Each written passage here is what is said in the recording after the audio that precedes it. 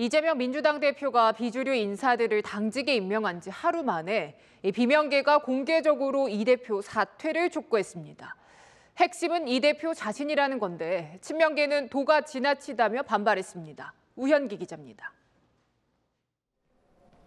이재명 민주당 대표가 당직 개편을 단행한 지 하루 만에 비명계가 이 대표 스스로 거취를 결정하라며 포문을 열었습니다. 비명계의 불안, 불만을 잠재우기 위한 그런 당직 개편이라고 생각을 하신 것 같은데 그 근본적인 해법은 이 대표가 스스로 물러나는 겁니다. 이상민 의원도 이 대표가 대표직을 유지하며 다른 당직을 바꾼 것이 얼마나 의미가 있을까 싶다고 지적했습니다. 이 대표 거취가 정리되지 않는 한 민주당에게 씌어진 방탄 프레임에서 빠져나오기 어렵다는 겁니다. 친명계는 선을 넘었다며 반발했습니다. 친명계 한 의원은 어렵사리 당직 개편안을 내놓았는데 하루 만에 사퇴를 운운하는 것은 지나치다고 지적했습니다.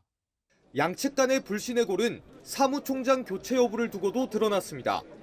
한 비명계 의원은 채널A에 사무총장도 교체하지 못했는데 제대로 쇄신이 되겠냐며 핵심을 피해간 개편이라고 비판했습니다.